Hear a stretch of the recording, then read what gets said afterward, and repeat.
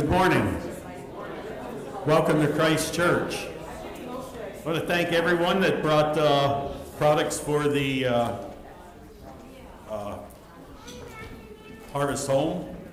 I know it's a little bit different than what it was years ago. Years ago, I can remember there was uh, fresh fruit, vegetables, and stuff, but uh, you know, these are items that uh, they don't get from food distribution, so this is badly needed stuff and it's appreciated.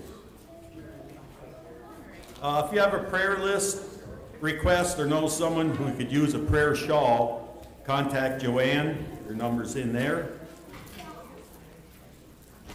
Uh, Monday is Emmaus Reunion Prayer Group. Prayer requests are welcome. Please contact Jane Shellhammer, Sandy Rumble, or Connie Fetzer for that. Uh, Wednesday, uh, we have adult choir practice, and we will also have the adult Bible study. Friday is tag. Uh, next Sunday is worldwide communion. I'm not sure. Mark, do you know next week with communion is it going to be at the at the altar rail or you know? Okay, well we'll be surprised.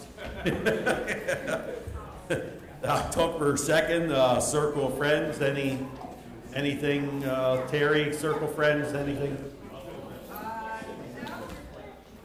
Okay. Okay, good. Thank you.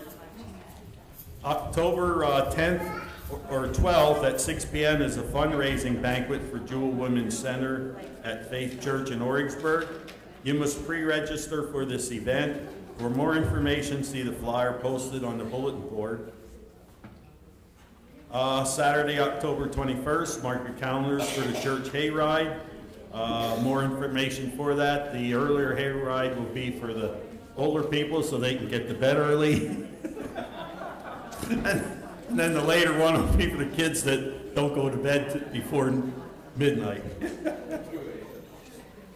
Chicken barbecue events, Wednesday, uh, pepper cabbage and pie shell making, Thursday apple day, pies and dumplings, and pie filling. Uh, Friday, October 27th, uh, finish the pies and final prep and wrap potatoes. And then 12 p.m. to 4 p.m. is pre-order pie pickup, and Saturday the big day, 10:30 a.m. to 3:30 p.m. All hands on deck. If you're working out at the fire pit, 5 a.m. is when they start uh, lighting the fire there. Uh, are there any additional announcements uh, on your far left? Center left section. Center right section. Far right section. Lois? Just a reminder, if you do not get tickets for the chicken barbecue, Joe is not here today, but Neil is here. Stand up, Neil. Neil, there's Neil up there. So he is the ticket person today. Also, keep getting the pie orders. I appreciate it. Thank you. Yeah, if uh, you didn't hear yet, Neil will have tickets for the, uh, uh, much are they a piece? I think they're uh, 14. Okay, thank you. Yeah, 14, and I think the pies are what, 13? Correct? No, fifteen. 15. Oh, okay. It was the other- Okay. I s- so bad. Also, uh, as usual, I forgot, uh, the 6th, October 16th is the March for Life in Harrisburg. Uh, I know I'm going, and I know uh, Carol Stein uh, will be going. I don't know if anybody else is interested. Uh, Even though the uh, Supreme Court overruled the Roe versus Wade, you know, our state is still not pro-life, and we need to show support for those that are in uh, our government that are for pro-life, and hopefully we can change people's hearts, and they will realize that uh, life begins at conception. Hey, if there's no other, oh, Mark, yes. I just want to make a quick announcement. I don't know if everybody saw this in the uh, pre-worship videos announcements, but um, you know we're working through some issues with our live stream, and what we want to ask you to do today, and as an experiment, is please put your phones on airplane mode or at least turn off your Wi-Fi so that the phones aren't constantly trying to ping the Wi-Fi and connect to it. Um, uh, we, I submitted a ticket to the, to support for the Mevo camera, and they said, suggested that maybe there's a lot of radio interference with everybody in the church at the same time. We don't have any issues during the week. I run a test for three hours and nothing goes wrong. We're in here for one hour and it drops like five times. So um, let's try that today if we could. Thanks. All right, and I want to thank uh, J2O that uh, they're back.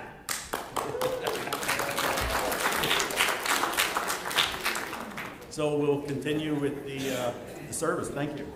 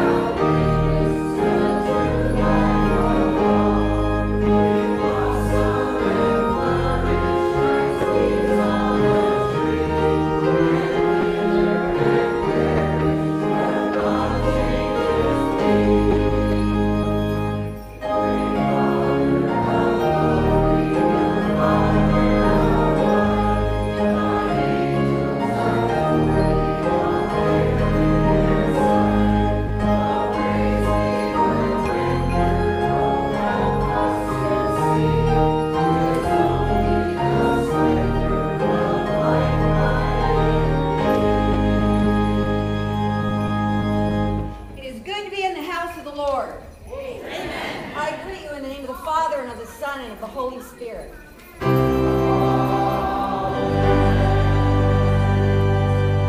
Give praise to the Lord. Proclaim his name.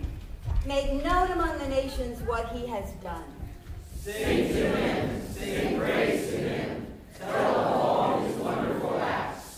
Glory in his holy name.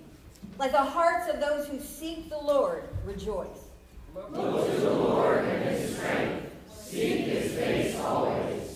Remember the wonders he has done, his miracles, and the judgments he pronounced.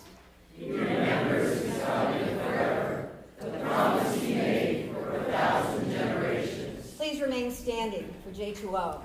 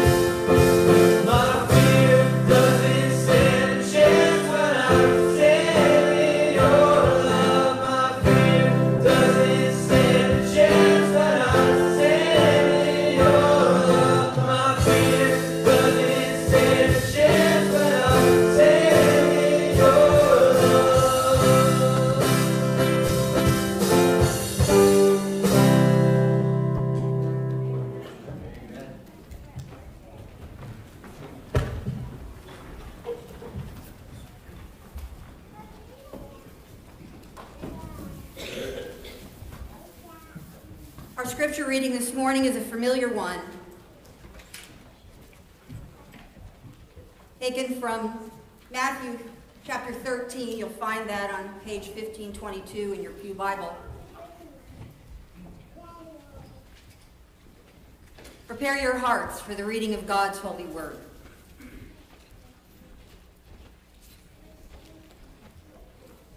He told them another parable. The kingdom of heaven is like a mustard seed, which a man took and planted in his field. Though it is the smallest of all seeds, yet when it grows, it is the largest of garden plants and becomes a tree, so that the birds come and perch in its branches. He told them still another parable. The kingdom of heaven is like yeast that a woman took and mixed into about 60 pounds of flour until it worked all through the dough. Continuing in verse 44.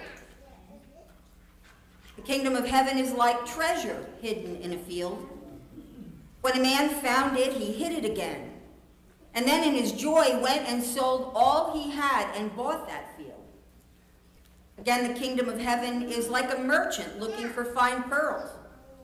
When he found one of great value, he went away and sold everything he had and bought it. Once again, kingdom of heaven is like a net that was let down into the lake and caught all kinds of fish. When it was full, the fishermen pulled it up on the shore, and they sat down and collected the good fish in baskets, but threw the bad away. This is how it will be at the end of the age. The angels will come and separate the wicked from the righteous and throw them into the blazing furnace where there will be weeping and gnashing of teeth. Have you understood all these things? Jesus asked. Yes, they replied. He said to them, Therefore, every teacher of the law who has become a disciple in the kingdom of heaven is like the owner of a house who brings out of his storeroom new treasures as well as old. There ends the reading of God's holy word. May the Lord give his blessing to the hearing and the reading of it.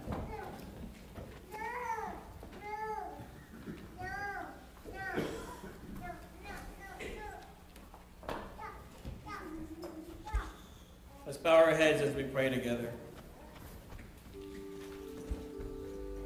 Father, we praise you and thank you this morning for your love and patience that you show to us in so many ways. You have been with us from the beginning, through it all, the good and the not so good. In our times of triumph, great gladness, success, well being, you have been there because we know that every good thing comes from you, Lord. In our times of loss, sadness, failure, and sickness, you have been there to give us hope, to give us peace, love, and joy. Because even when we're going through the worst of it, we know that those good things are all found only in you and your promise through your Son. Lord, we pray that we would be mindful of the needs of our neighbors and be ready to help where we can. Give us your eyes for the lost, the lonely, the hurting, so that we might see those in need. And give us your compassion for those in need, so that we might take action. Lord, on this National Gold Star Family Day, we pray for the families who have lost loved ones the line of duty to our country. We pray that your Spirit would provide comfort and peace to them in their time of mourning. We also pray, Lord, for the harvest home items donated for the food pantry.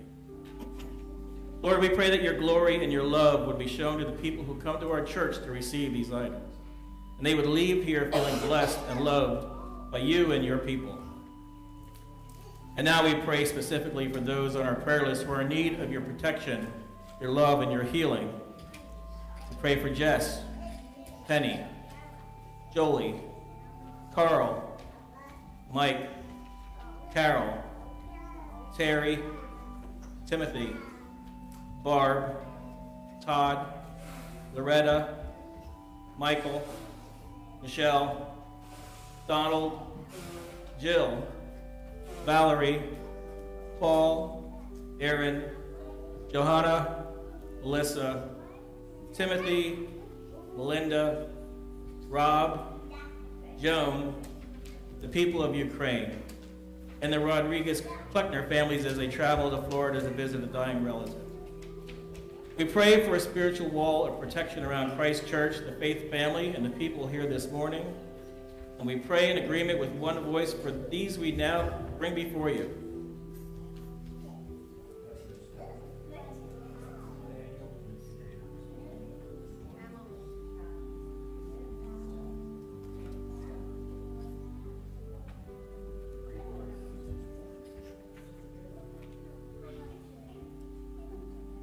Father, we pray that you would keep these family and friends safe wherever they are and meet them where they need you the most, working in their lives to show your glory. And help us all to truly follow your Son, who taught us the importance of praising you, trusting you, and forgiving others when he taught us this prayer.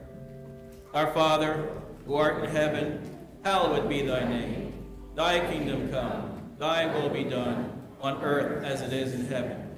Give us this day our daily bread and forgive us our debts as we forgive our debtors. And lead us not into temptation, but deliver us from evil. For thine is the kingdom, and the power, and the glory forever.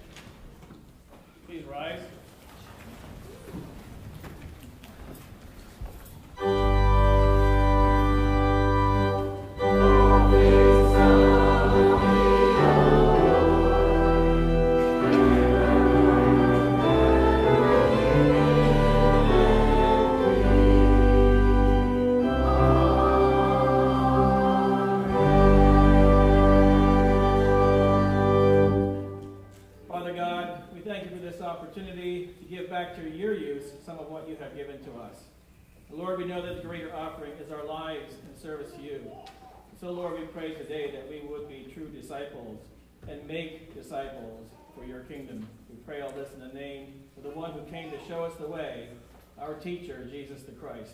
Amen.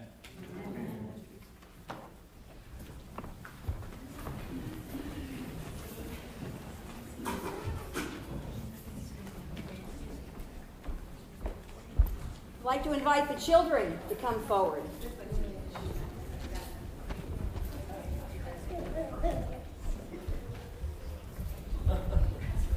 Hey, man, hey, ladies. Oh, I have a microphone.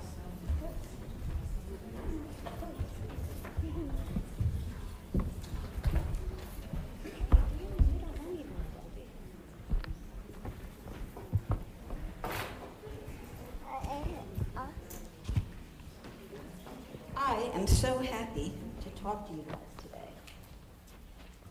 Now, I have to tell you that what Pastor Mark is going to say later is very, very important.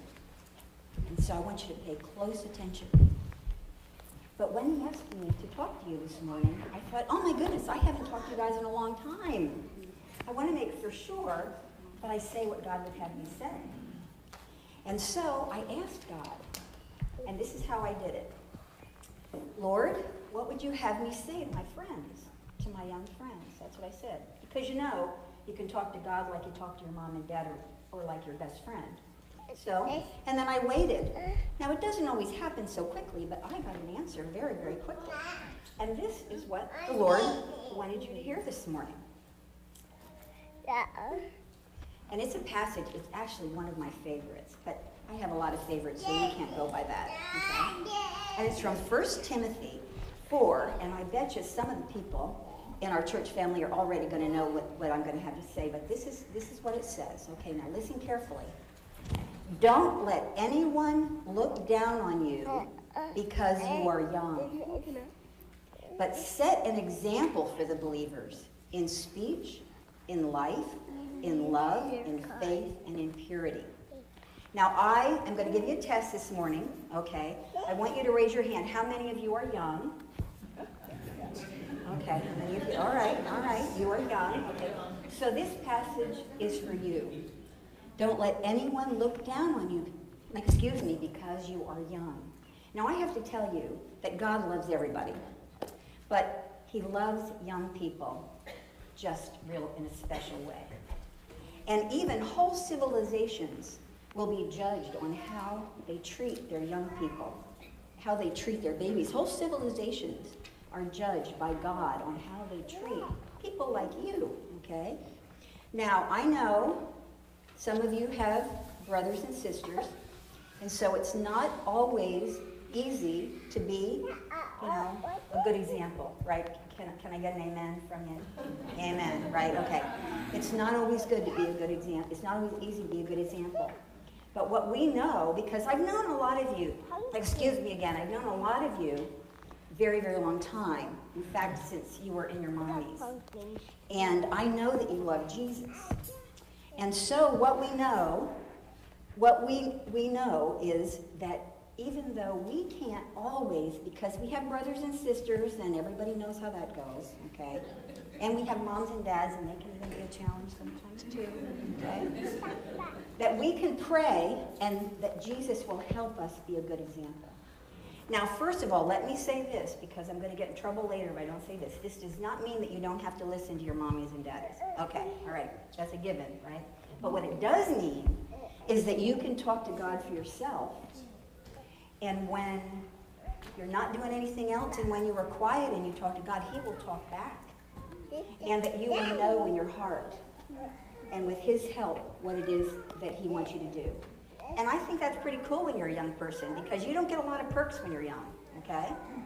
And so, if I want to know what God wants me to do to be a good, to be good, okay, to be a, a good example, how do you think I would say it? What would I say? How would I say that?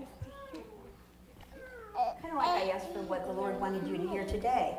Maybe I would say, Lord, help me to be a good example because right now I don't feel like it. Maybe I would say that, don't you think? I think so too. So let's pray that when we are not being a good example, that the Lord would help us, that we would remember to ask the Lord to help us to be a good example, and to remember that even though we're young, God loves us in a very special way, and we can talk to Him for ourselves, okay? So let's bow our heads and pray, okay? Bow our heads and pray. Well, Father God, we thank you that you love us in a special way because we are young. And we pray that when we're not feeling like we can be a, a good example, that you would help us and we give you permission. And we want to tell you that we love you. And when you have something to say to us, we pray that you would say it in a way that we would hear you and we would understand. And we pray it in Jesus' name. Amen. Okie dokie. Let's see. I think we have a basket back here. Oh, we do. They didn't move it. Okay, there you go. Oh, let's, let's make room for everybody.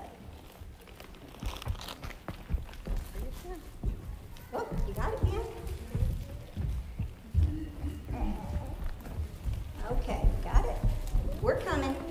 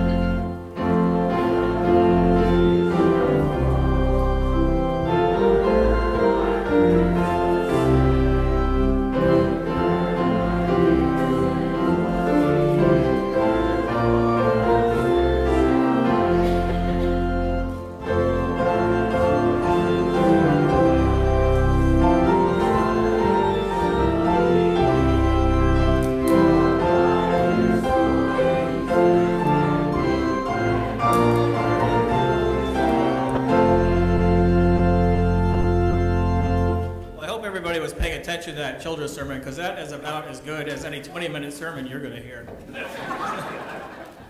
um, also, there are these little goldfish up here. There's another one back there. I don't know where they came from, but I saw it this morning. I thought, as soon as I thought, it, remi- I, reminded me of Jesus.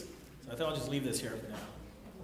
I'll have to clean it up later or it'll get moldy, though. All right, so in his book, Stop Asking Jesus into Your Heart How to Know for Sure That You Are Saved, author J.D. Greear tells a story about how he came to be believer baptized four times as a teen. Most people understand that you only get believer baptized once, so how did this young man get baptized four times?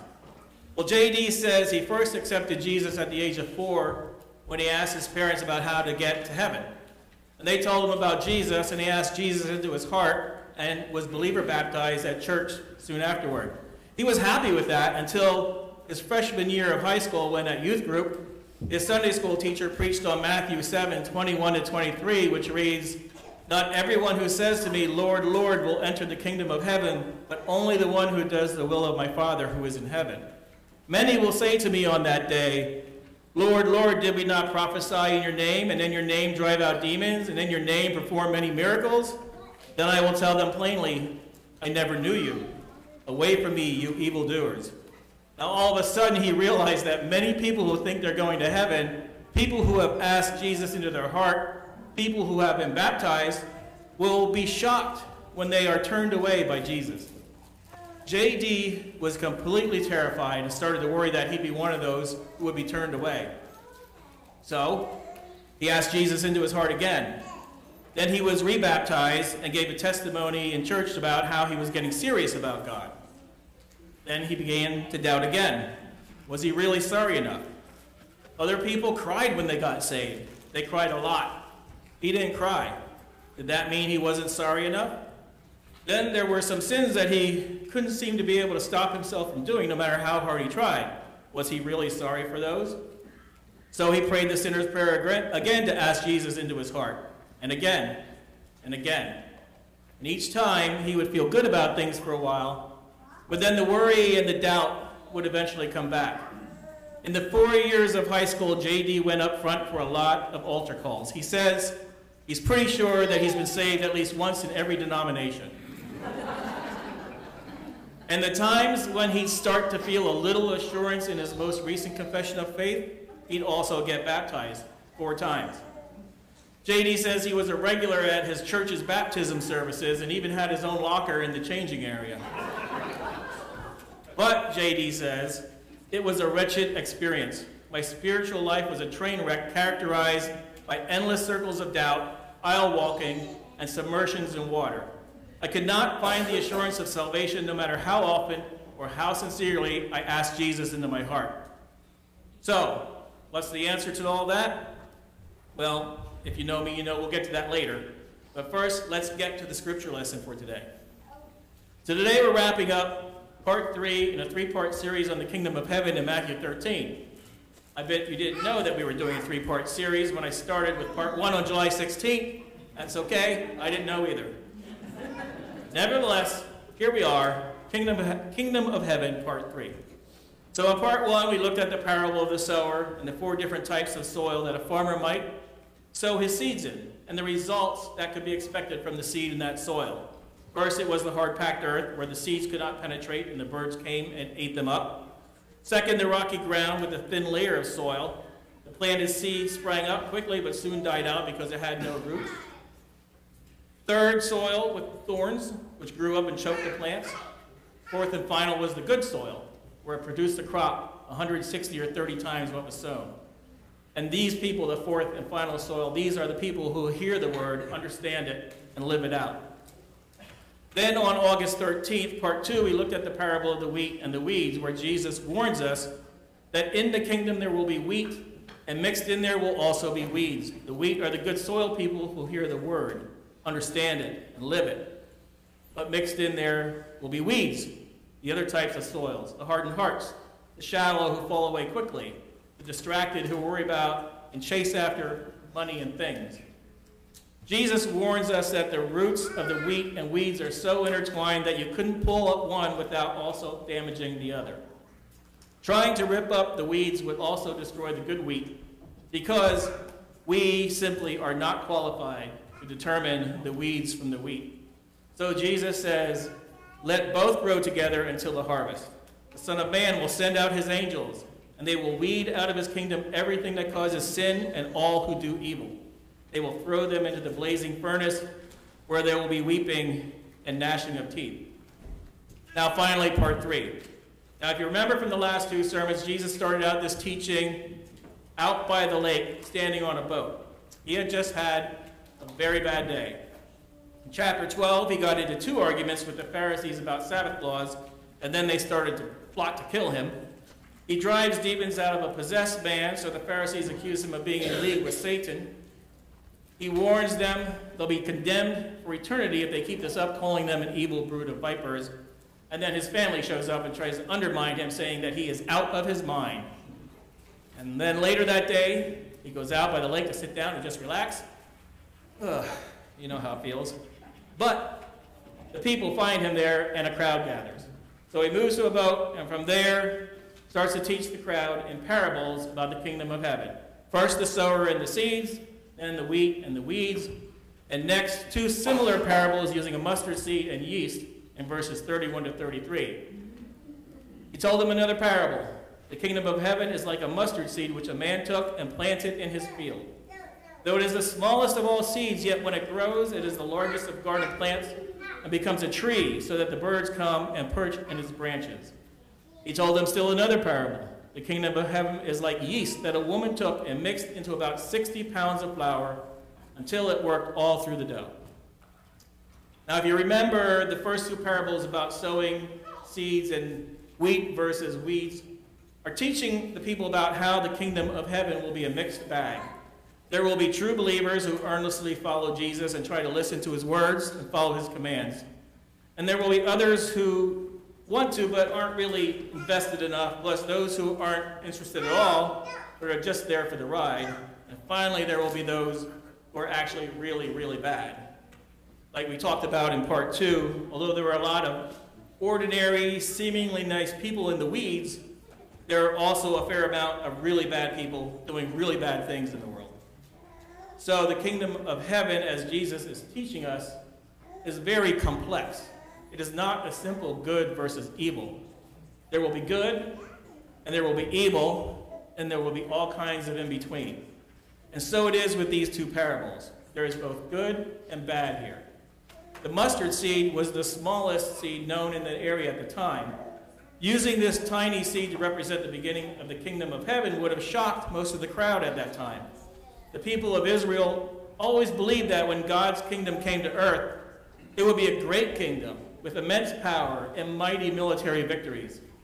They were not expecting Jesus to tell them that it would start out tiny and insignificant like a mustard seed. But here Jesus is saying that the kingdom is already here, but it's just getting started and not very big yet.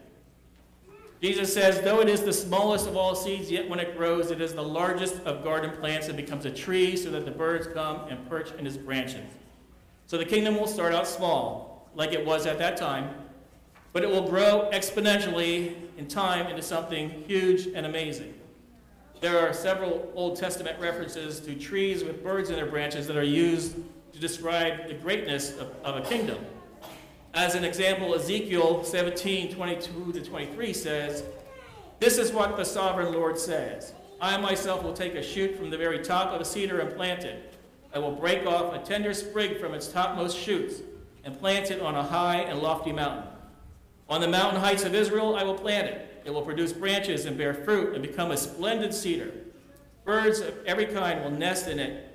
They will find shelter in the shade of its branches. Here, a tender sprig taken and planted by God is actually a reference to Jesus. He and his kingdom would be great, like a tall, strong cedar, and birds of every kind will nest and find shelter there. Notice the birds of every kind. The Matthew Henry commentary for this passage in, in Ezekiel, Ezekiel says, The Christian church was at first like a grain of mustard seed, but became like this tender branch, a great tree, its beginning small, but its latter end increasing to admiration. When the Gentiles flocked into the church, then did the fowl of every wing come and dwell under the shadow of this goodly cedar, even the birds of prey, which those preyed upon, as the wolf and the lamb feeding together. So good? Yes, the kingdom of heaven started out small, but it grew exponentially throughout the centuries, and now is the largest religion in the world. As of the year 2021, Christianity had approximately 2.38 billion followers out of a worldwide population of about 8 billion people, which is nearly one third of the world's population. So lots of birds perching in those branches, birds of all kinds. Remember the birds in the first parable that came in and ate up the seeds that the sower had cast on the hard packed earth? Those birds represented the evil one who comes and snatches away what was sown in the heart. Many times in Scripture, birds are just birds, but other times they are also used to represent evil. So, how many of those birds perching in the branches of the, of the kingdom are good soil people, and how many are wheat versus weeds? Who knows? But remember, we're not supposed to judge that. We're not qualified. Again, even though this parable seems so different from the first two, it's very similar in that Jesus is warning us there will be good and there will be bad, and we're just going to have to deal with it for a time. The next parable about the yeast is also telling us something very similar. He told them still another parable. The kingdom of heaven is like yeast that a woman took and mixed about, into about 60 pounds of flour until it worked all through the dough. In this short parable, there are several things going on here. First, notice the flour is 60 pounds. That is a lot of flour. A huge amount, actually, for someone to try to mix by hand. So the prevailing opin opinion among scholars is that the world is the flour. Yeast is a change agent. It is a form of fungi that multiply rapidly due to fermentation. Mixed with flour and water, it causes the dough to change from a dense and com- compact dough to one that is expanded with air to create a light, fluffy, and delicious bread. Who doesn't like bread? So the yeast, the gospel, the kingdom of heaven will enter the world, and because of its message of hope through Jesus Christ, it will be a change agent affecting the entire world. Good again, right? Yes? But scripture also uses yeast in many places in a negative way because fermentation implies corruption. For example, in Matthew 16 and Mark 8, a story is told. Matthew 5 to 6 reads, When they went across the lake, the disciples forgot to take bread. Be careful, Jesus said to them. Be on your guard against the yeast of the Pharisees and the Sadducees. Now the disciples got confused and they think Jesus is reprimanding them because they forgot to bring bread. But Jesus corrects them in verses 11 to 12. How is it you don't understand that I was not talking to you about bread? But be on your guard against the yeast of the Pharisees and the Sadducees. Then they understood that he was not telling them to guard against the yeast used in the bread, but against the teachings of the Pharisees and Sadducees. So yeast can be a change agent for good, but it can also be a change agent for bad. There have been a lot of great Christian things done throughout the years, the ages in the name of Christ. Universities and hospitals all started as Christian organizations. Orphanages to take care of the most vulnerable were started by Christians. Christians campaigned for prison reform and better housing. It was Christianity that fought to end slavery in the U.S. and around the world. Christianity is behind a huge number of charities that support the poor, the underprivileged, prisoners, the homeless, and those seeking justice. But then there are all the bad things that people have done claiming the name of Christ. Probably the one that comes to mind for most people, anyway, right away, is the Spanish Inquisition, where about 150,000 people were tortured and prosecuted for various offenses, and about 5,000 were executed. In 2010, our youth group went on a mission trip to Montana where we worked with some Blackfeet there to build a youth camp. A local Blackfeet minister, Pastor Titus, told us how the government in the past had used Christianity and churches as a way to strip the Blackfeet of their culture and their heritage. And there are then also the various and numerous sex and child abuse scandals. I mean, I could spend all day here going through all the list of bad things, but suffice it to say, the yeast can be a change agent for good, and it can be a change agent for bad. Again, the kingdom will grow as the yeast works in the bread, and there will be good and bad to deal with. At this point, Jesus left the crowd and went into the nearby house. Now he is only with his closest followers, and after explaining the meaning of the parables of the sower and the seeds, and the parables of the wheat and the, and the weeds, he tells them the parables of the hidden treasure and the pearl. In verses 44 to 46. The kingdom of heaven is like treasure hidden in a field. When a man found it, he hid it again, and then in his joy went and sold all he had and bought that field. Again, the kingdom of heaven is like a merchant searching for fine pearls. When he found one of great value, he went away and sold everything he had and bought it. Here, Jesus is moving away from explaining that the kingdom will grow with good and bad to the value of the kingdom. In both of these parables, the person sells everything they have to gain the treasure, a pearl of great value. And when you find the treasure or pearl, nothing is worth more than the kingdom of heaven. Nothing. The first one accidentally finds a treasure in a field, the second one earnestly seeking for pearls when he finds the pearl of great value. In the kingdom of heaven, there will be people who seemingly stumble upon the gospel and are saved, and there will be those who came to a saving knowledge of Christ through seeking and study. But however you come to the gospel and are saved, the only way you do that and gain the kingdom of heaven is to give up your old way of thinking about yourself, the world, and God. To be good soil people, hearing the word, understanding it, and living it out in our daily lives. After these two parables, Jesus says, Once again, the kingdom of heaven is like a net that was let down into the lake and caught all kinds of fish. When it was full, the fishermen pulled it up on the shore.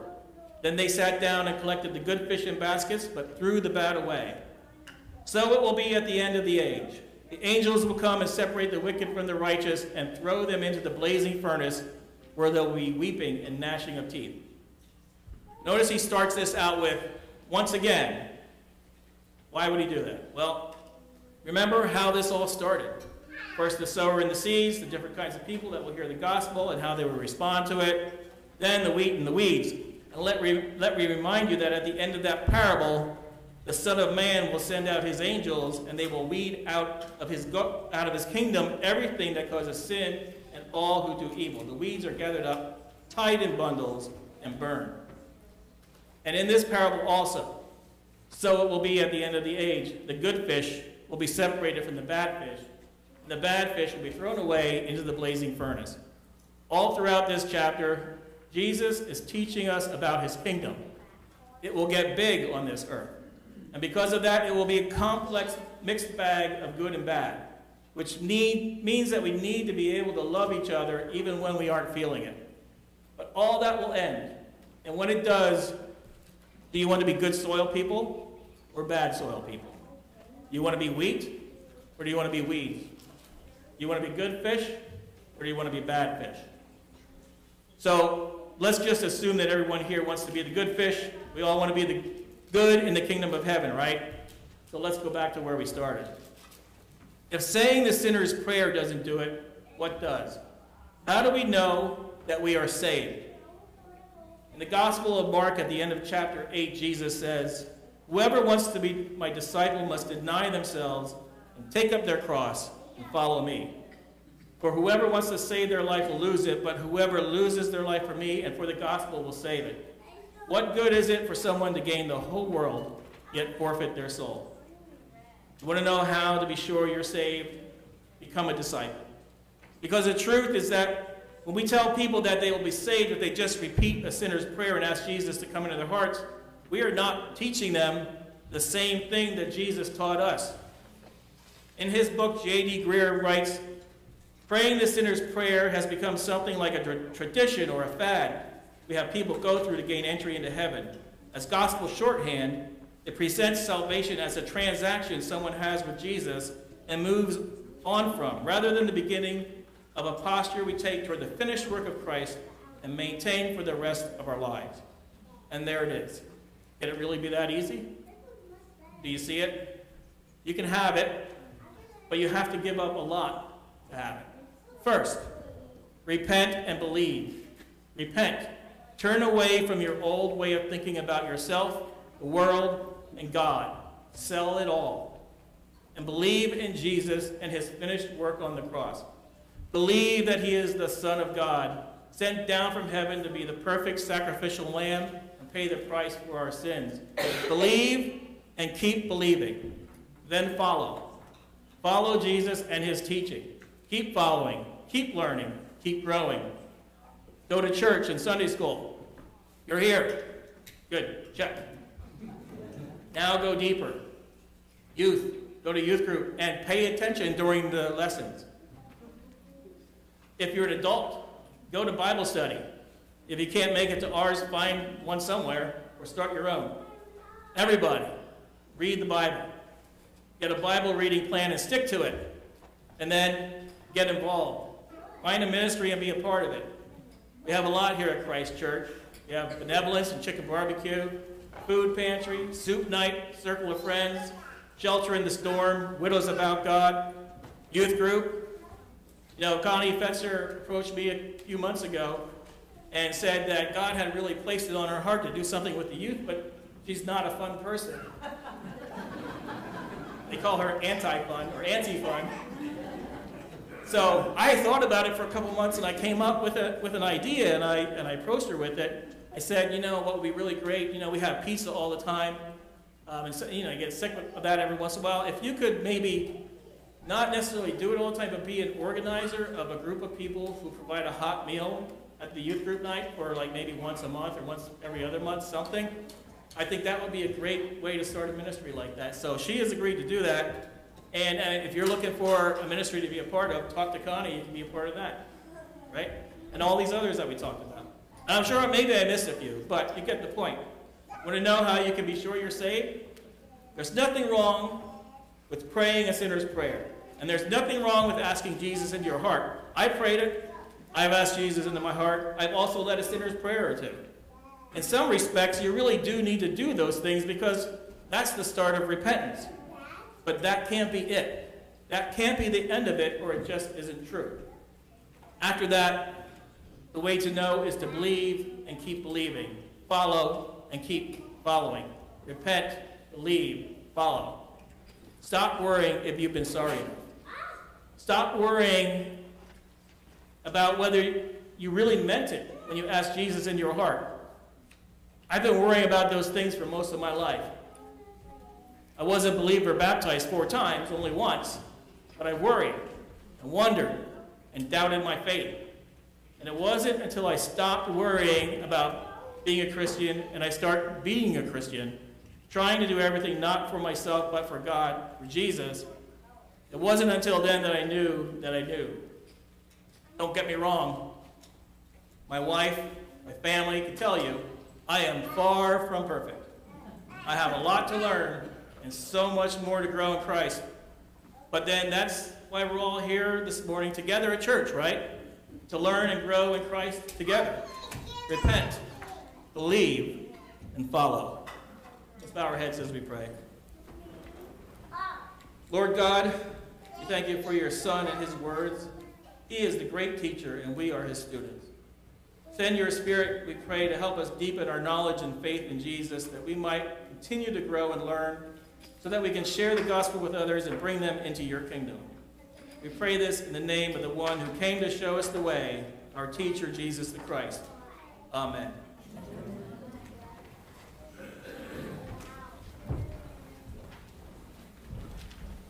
Please stand. Please stand for the benediction.